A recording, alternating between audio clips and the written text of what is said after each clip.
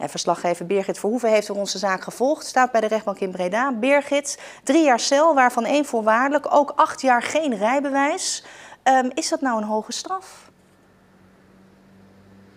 Nou, de advocaat van de verdachte vindt dat uh, zeker een uh, hoge straf, te hoog. Uh, hij zegt, nou, ik had liever gehad dat hij 15 maanden gevangenisstraf had gekregen en maar twee jaar rijontzegging. Dat had hij een stuk schappelijker gevonden.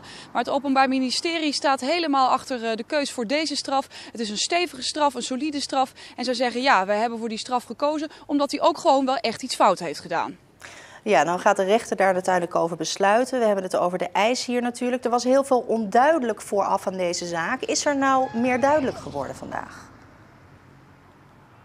Nou, dat hij veel en veel te hard reed, dat wisten we al. Dat, uh, dat is laatst uh, bekend geworden. Maar verder waren er inderdaad heel veel vragen. Hè? Hij reed door naar het uh, ongeluk. Waarom heeft hij dat gedaan? Nou, vandaag vertelde hij in de rechtbank dat hij dat deed uit paniek. Hij voelde wel iets, hij reed tegen iets aan, maar wist niet dat het een kind was. En toen hij door was gereden en besefte dat het wel eens een kind zou kunnen zijn, durfde hij niet meer terug. Hij was bang om de familie onder ogen te komen, was in paniek en wist niet meer wat hij moet doen. Nou, daarom is hij doorgereden. Dan was er ook nog de vraag, waar is hij al die tijd gebleven. Want hij is uren kwijt geweest voordat hij zich meldde bij de politie. Nou, hij is eerst een, uh, heeft hij een tijdje zitten huilen in zijn auto. Daarna is hij naar een vriend gegaan. Met die vriend is hij nog naar de koffieshop geweest. En toen begon het wel te knagen. En uh, ja, wist hij eigenlijk niet meer zo goed wat, wat hij moest doen. Is hij naar zijn ouders gegaan. En zijn ouders hebben gezegd, nou jongen, wij brengen jou uh, naar de politie. Nou, dat zijn allemaal antwoorden op vragen waar we de antwoorden eerder nog niet van wisten. Maar de vraag waarom hij daar zo hard reed, 80 km per uur. Ja, daar gaan we waarschijnlijk nooit achter komen.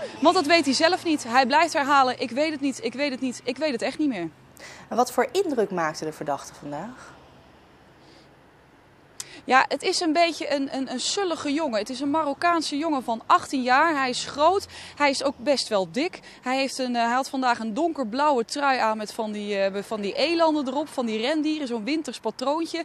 Ja, en hij zat een beetje voor zich uit te kijken. Het is ook een, uh, een jongen met een, een, ja, een achterstand. Hij heeft een IQ van minder dan 70. Hij is licht zwakzinnig. Dus ja, het is een beetje, een beetje een deuzige. Ja, aan de andere kant heeft hij ook gewoon wel het een en ander fout gedaan. Hij heeft een strafblad voor voor drugsbezit, voor diefstal, voor rijden zonder rijbewijs. Dus ja, hij doet ook wel het een en ander fout.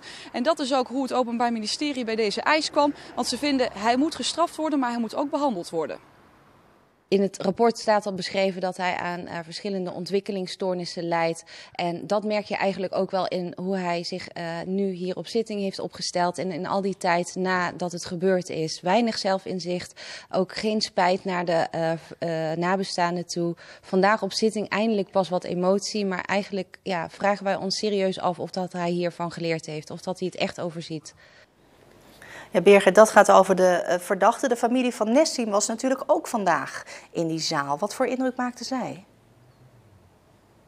Ja, zij maakte een hele rustige indruk. En het werd vooral emotioneel toen er een brief van de moeder van Nessim voorgelezen werd. Daar kwamen dingen in voor als, uh, ja, ik ben zelf ook een beetje gestorven. Uh, ik leid hier ontzettend onder, maar het hele gezin. Ze vraagt uh, de verdachte nog, waarom ben je doorgereden? Waarom heb je dit gedaan? Dus ja, toen werd het echt emotioneel. nou ja, dit is natuurlijk dit is wat de familie erover denkt. De rechter heeft natuurlijk alle andere meningen ook gehoord en gaat zich er nou over buigen. En nou ja, 3 november dan komen ze met een uitspraak.